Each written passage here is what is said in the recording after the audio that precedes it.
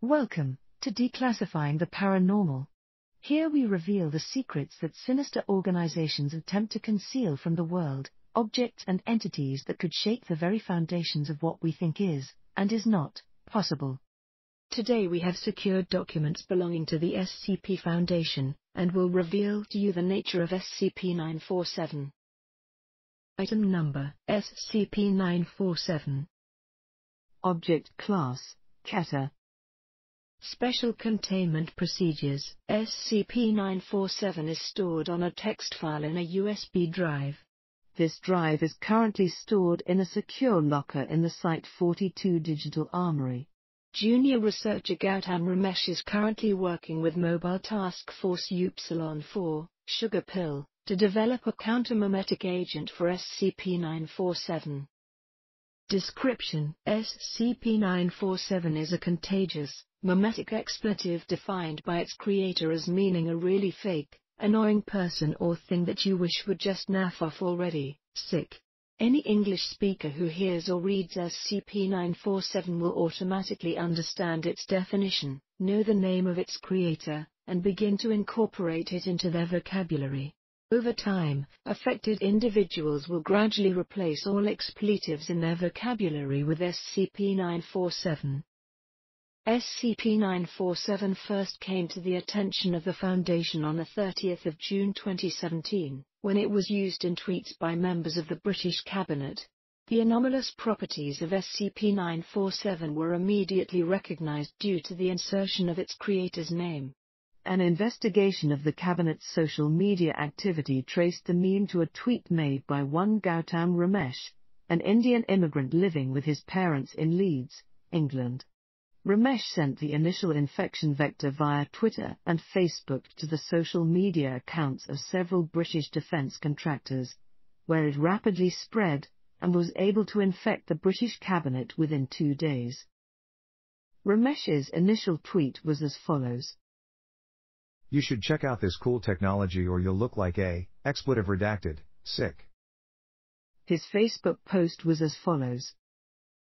Hi all, I've just come up with a very cool new technology. Ideas in words. Help me spread the word or you'll look like real, expletive redacted, sick. At this time, SCP-947 is used by approximately 8% of all English speakers worldwide. Addendum Interview with Gautam Ramesh. Shortly after the identification of SCP-947's anomalous properties, Gautam Ramesh was brought in for an interview.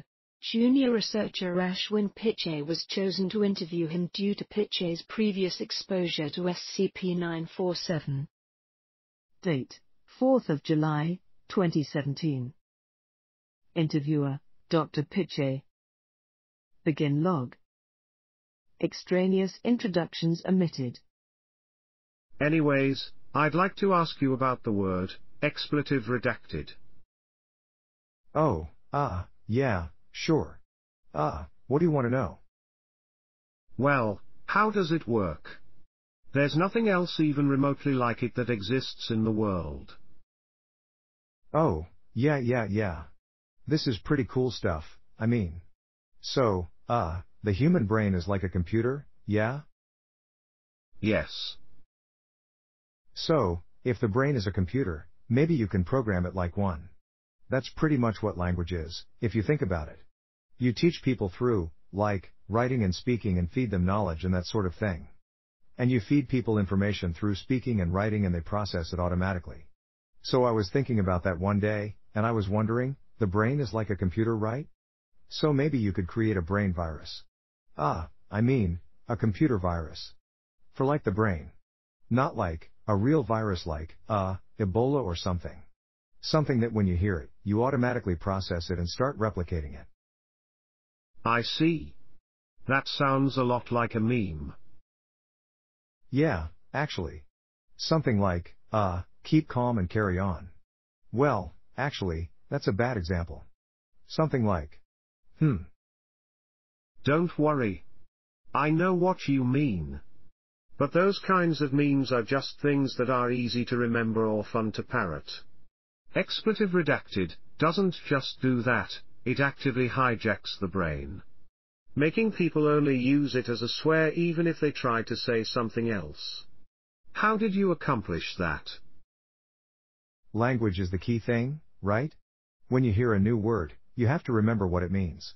The word is meaningless by itself, you also need to know the meaning or the context of the word for it to do anything. But once you know the meaning, the brain automatically processes that word to have that meaning in the future. So the trick is figuring out how to make the word encode the meaning in and of itself. And if you can do that, then you can encode a lot more stuff into it.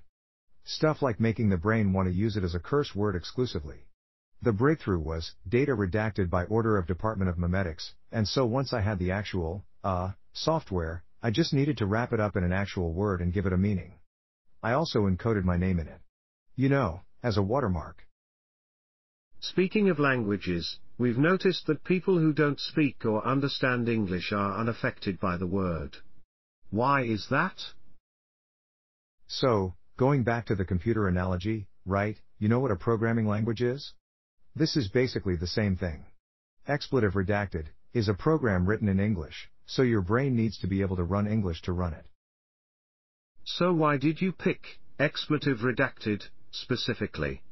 Why that meaning in particular? I mean, I'm looking for a job. Programming the human brain is cool, but you know what the economy's been like. I thought the military or the government would be pretty interested in this kind of thing, yeah? Expletive redacted is a proof of concept. It's pretty harmless and even helpful, it stops people from using actually harmful swears and like, racial slurs. But if you can do that, you could do stuff like, perhaps, hypnotize terrorists and stuff. Like, actually hypnotize them. So I was trying to get the government's attention. Show them that I can take the initiative and that I can really help them out. You work for the government, right?